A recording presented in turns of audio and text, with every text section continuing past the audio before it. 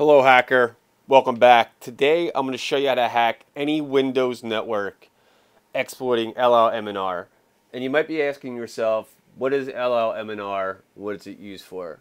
Well, it's used for two things. First thing is it's used for network network file share discovery. Um, so it will send LLMNR packets out and try to discover file shares on a network.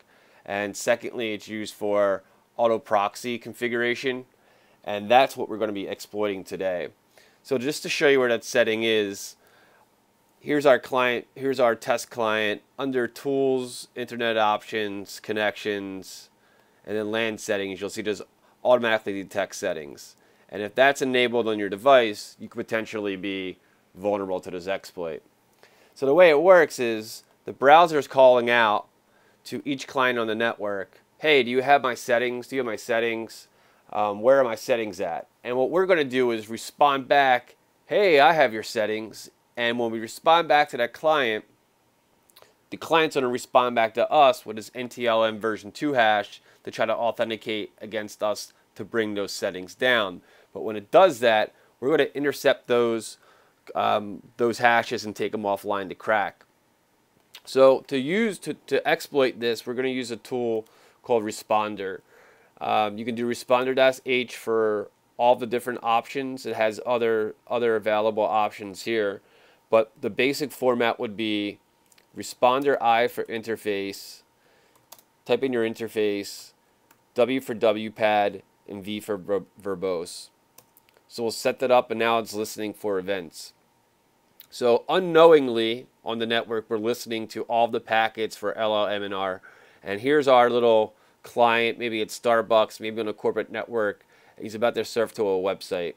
And when, we, when he goes to that website, you'll notice that we're interception, intercepting the NTLM version 2 hashes. It's just that easy. So on the back end now that we have these hashes, what we can do is pipe them into John and crack it and get the password. So let's see how that works. So the root for this is under users, share, and a responder. And uh, where these particular settings or where these capture packets are stored under logs. So what we can see now under HTTP,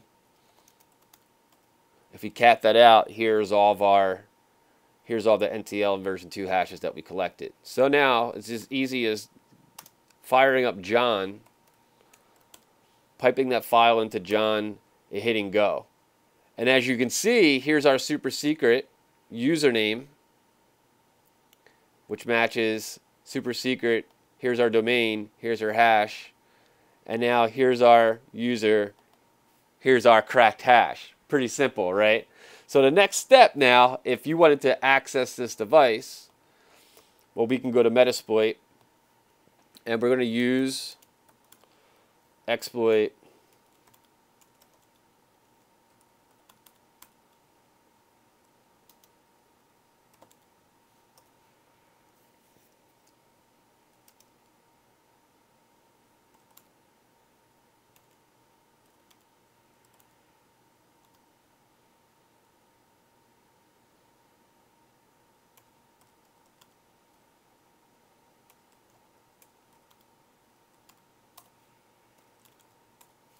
All right, so what we're going to do now is type in that username and password that that we got. So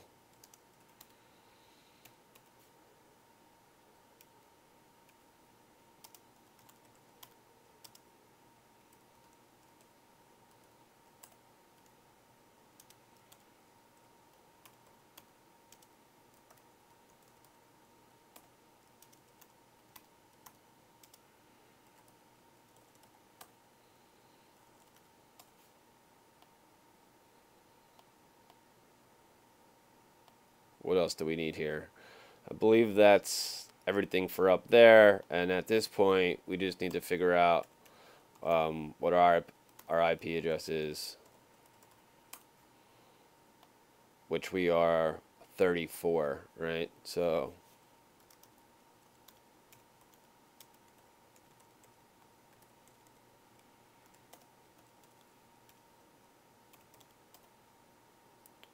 So that's pretty much it. At this point, let's go ahead and exploit.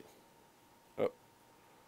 So we need to set our R host. Now the R host, if you go back to what this file name is, you can see that each individual, well, let me do ls. So each individual capture, pa capture packet has the IP address of the target. So what we would do, do is put that IP address in.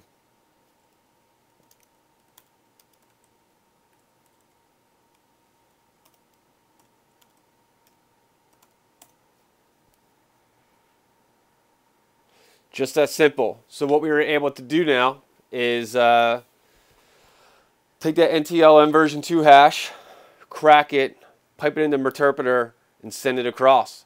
Well, I hope you guys liked this video. Uh, like, subscribe, and once again, I'll see you in the pipes.